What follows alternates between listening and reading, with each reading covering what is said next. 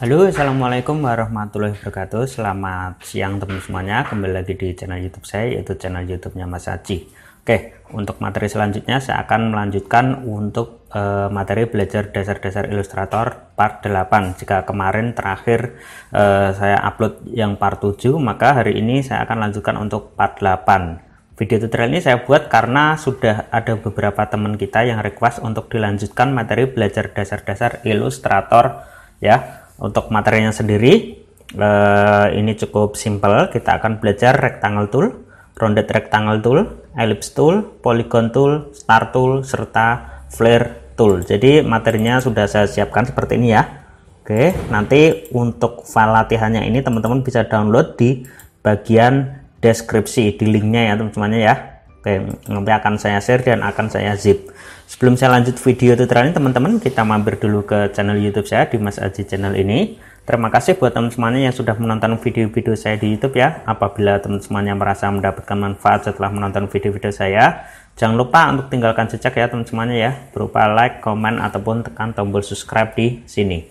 Dan terima kasih buat teman teman yang sudah subscribe, jangan lupa untuk aktifkan tombol loncengnya agar pada saat saya upload video tutorial terbaru teman-teman tidak ketinggalan untuk menyaksikannya. Oke langsung saja kita mulai ya. Di sini saya menggunakan dokumen A4 kita masukkan untuk e, gambar yang pertama yaitu materi satu. Oke saya klik di sini ya. Nah saya akan tempatkan di sini. Oke saya akan lock dulu ya biar nggak lari-lari. Oke nah yang pertama kita akan gunakan klik di sini klik kanan pada mouse. Nah kita akan gunakan ini ya pertama kita akan belajar ini. Teman-teman klik di sini aja. Nah dia akan muncul toolnya di sebelah sini. Oke, saya geser. Nah, kita pertama akan menggunakan untuk uh, rectangle tool dulu ya. Nah, rectangle tool ini bisa kita gunakan untuk membuat objek kotak persegi panjang ataupun persegi. Jika teman-teman ingin membuat kotak persegi panjang, teman-teman tinggal klik and drag seperti ini. Ya. Lalu jika teman-teman ingin membuat kotak persegi, teman-teman sambil klik and drag dan tekan tombol shift pada keyboard. Nah, seperti ini. Oke. Nah, teman-teman pun bisa riset sendiri, bisa atur ukurannya. Teman-teman bisa klik di sini, misalkan teman-teman uh, ukuran dari ininya mau dicek seberapa sih kotak ini panjang kali lebarnya. Teman-teman tinggal klik di sini di bagian transform dan teman-teman bisa cek di sini ukurannya yaitu ini panjangnya 14,55 dan di sininya itu 5,92. Misalkan ini saya akan uh, rubah ukurannya ke 20 kali 15 misalkan seperti ini. Lalu tekan enter. Nah dia akan berubah seperti ini ukurannya. Mengikuti dari nilai yang kita masukkan tadi. Oke ya ini saya hapus. Nah kira-kira seperti ini ya. Tuh. Oke selanjutnya bagaimana cara membuat objek seperti ini? Nah ini saya hapus. Teman-teman tinggal klik di sini.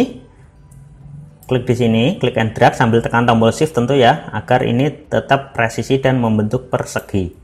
Nah, di bagian sini teman-teman bisa klik transform, lalu pilih yang di sini ya.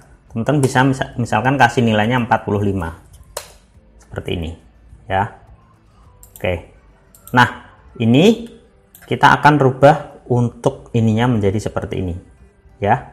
Teman-teman tinggal klik di sini ya. Klik di sini lalu pilih delete anchor point tool teman-teman klik di sini aja nah seperti ini dia oke ya.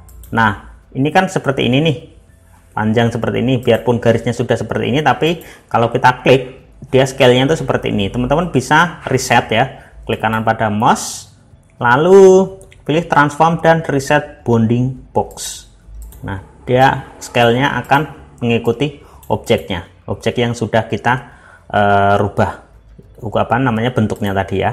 Seperti ini. Oke.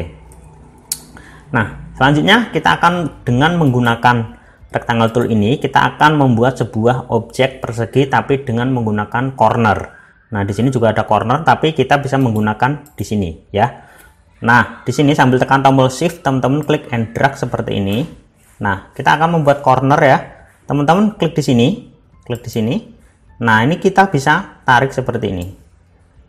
Dia akan membentuk corner seperti ini. Tuh, ya. Seperti ini ya. Kita akan membentuk corner. Oke. nah kita akan membuat corner di bagian sininya aja.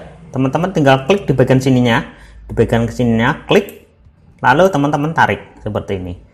Dia akan hanya satu yang terbentuk corner. Lalu jika dua teman-teman tinggal klik di sini aja lagi. Lalu klik di sini seperti ini. Tuh. Ya. Oke. Kira-kira ini untuk penjelasan rectangle tool saya hapus. Oke ini kita hapus lagi ya. Kita unlock. Nah kita hapus. Kita beralih ke rounded rectangle tool. Saya akan tarik and drag masukkan seperti ini. Nah. Oke. Kita sama. Kita akan gunakan ini. Rounded rectangle tool ya rounded rectangle tool. Tapi di sini bedanya kalau tadi kita bisa apa menggunakan ini. Tapi ini kita bisa langsung rekta apa? Roundednya ya. Sambil tekan tombol shift teman-teman klik and drag seperti ini. Tuh. Ini sama tekniknya kita bisa tarik juga seperti ini. Ya. Oke seperti ini. Atau kita bisa pilih pilih window. Lalu teman-teman pilih stroke di sini ya. Nah ini garisnya bisa kita rubah ke dash line seperti ini. Misalkan seperti ini. Nah dia akan seperti ini ya. Tuh kotak-kotak seperti ini.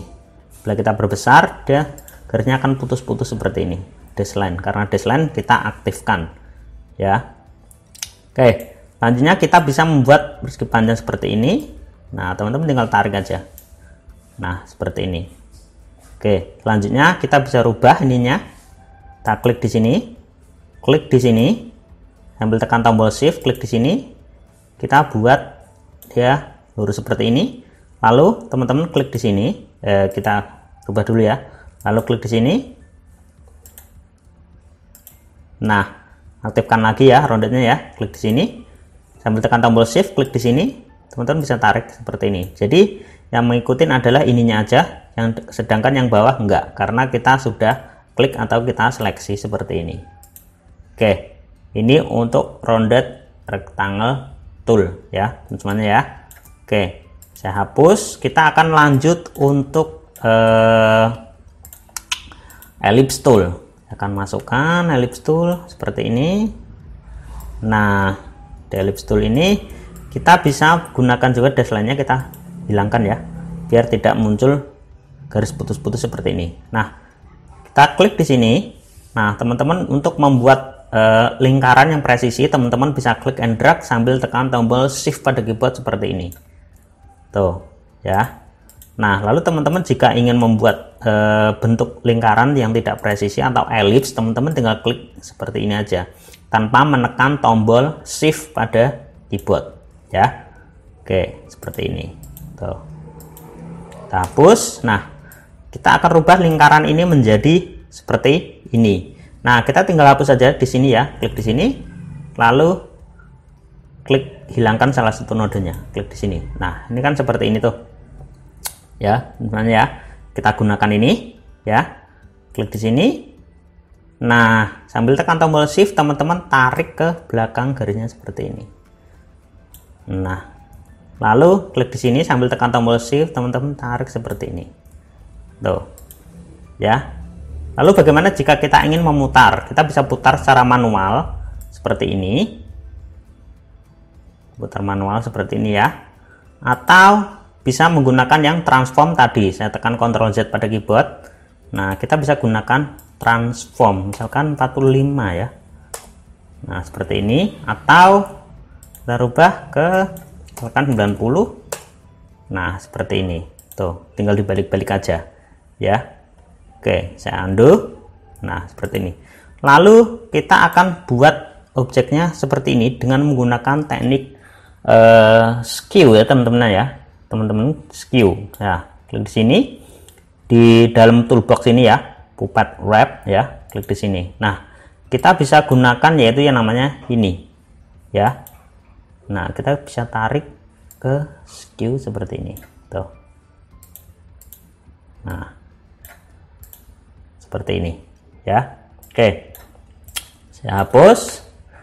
Kita lanjut untuk eh, poligon ya selanjutnya kita akan lanjut untuk poligon nah kita masukkan seperti ini Nah, di sini di poligon ini kita bisa atur nilainya ya. Kita bisa atur nilainya. Pertama saya akan klik and drag langsung. Nah, seperti ini. Ya. Oke, kita hapus.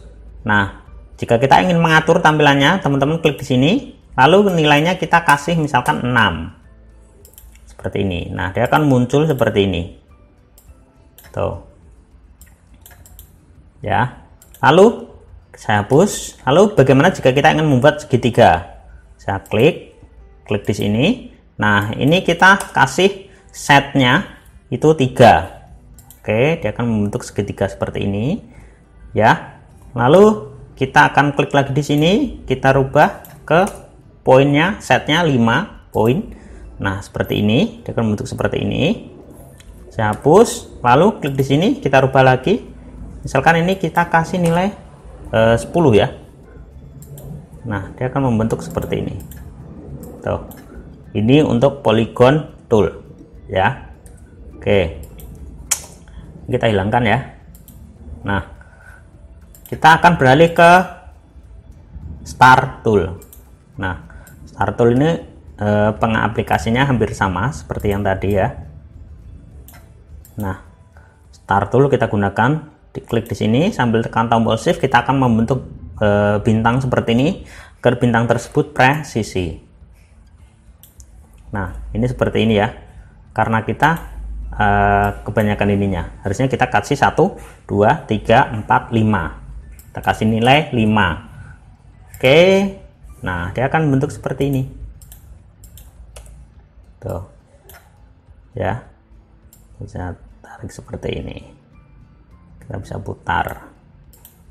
Oke seperti ini ya. Nilainya kita bisa tambah lagi klik di sini. Nah ini tinggal teman-teman mainkan aja. Misalkan saya kasih nilai 10 klik di sini dengan membentuk seperti ini. Teman-teman bisa? Nah tuh dia akan bertambah seperti ini. Ya oke kita akan buat bintang lagi ya. Lalu kita skew dengan menggunakan teknik yang tadi. Klik di sini. Akan saya akan kasih nilai eh, 1 2 3 4 5 5 enter. Nah kita putar ya. Kita putar seperti ini. Nah kita bisa gunakan klik di sini ya. Klik di sini. Atau kita tarik seperti ini tuh ya atau seperti ini. Kita model skew seperti ini. Oke. Untuk selanjutnya ini kalau yang model-model ini cukup simpel ya teman-teman ya. Nah kita akan membuat nih flare tool. Selanjutnya kita akan buat flare tool. Nah saya akan klik di sini. Kita gunakan ini ya flare tool ya. Teman-teman klik di sini nah dia akan membentuk e, seperti ini. Selanjutnya untuk pengaturannya dia akan muncul seperti ini. Diameternya bisa kita atur. Tuh seperti ini. Jika diameternya kita naikkan dia akan membesar atau mengecil. Nah opacity-nya bisa kita atur. Opacity itu e, ketajaman ya. Ketajaman. Oke. Semakin besar nilai opasinya akan semakin tajam dan semakin kecil opasinya dia akan semakin memudar ya. Nah seperti ini teman-teman bisa perhatikan di sininya ya. Tuh sedangkan brightnessnya kita bisa atur juga seperti ini.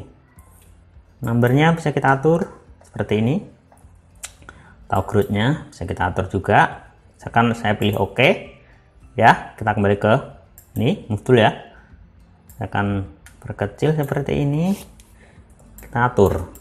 Misalkan kita akan taruh center di tengah. Legend ya agar center di tengah. Nah seperti ini oke kita legend lagi center di tengah. Klik di sini lalu pilih efek pilih distort and transform lalu pilih transform. Nah bagian transform ini ya kopisnya akan kita naik e, naikkan misalkan menjadi 20 kita pilih properties. Preview ya. Terus kita akan geser ini nilainya 10 kita lihat tuh perubahannya seperti ini. Oke ya nah dia akan menjadi seperti ini. Kalau di backgroundnya hitam seperti ini. Nah ini saya jelaskan dasar-dasar cara menggunakan tool-tool ini tadi ya teman-teman ya. Yang pertama yaitu rectangle rounded rectangle ellipse terus yang ini tuh polygon star tool dan flare tool. Nah selebihnya teman-teman bisa explore lagi ya untuk eh, teknik-teknik menggunakan tool-tool ini. Oke kira-kira bisa dipahami teman-teman ya untuk file latihannya nanti teman-teman bisa download di bagian deskripsi untuk linknya teman-teman bisa download Oke, baiklah teman semuanya, demikian video tutorial dari saya. Semoga bermanfaat buat teman semuanya. Dan sampai bertemu lagi di video tutorial saya berikutnya. Terima kasih.